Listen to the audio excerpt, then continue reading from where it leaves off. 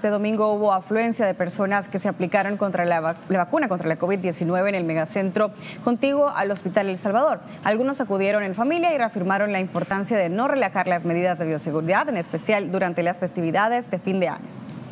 Preocupa mucho, por eso hay que, tomar en cuenta y, de ponerse la vacuna.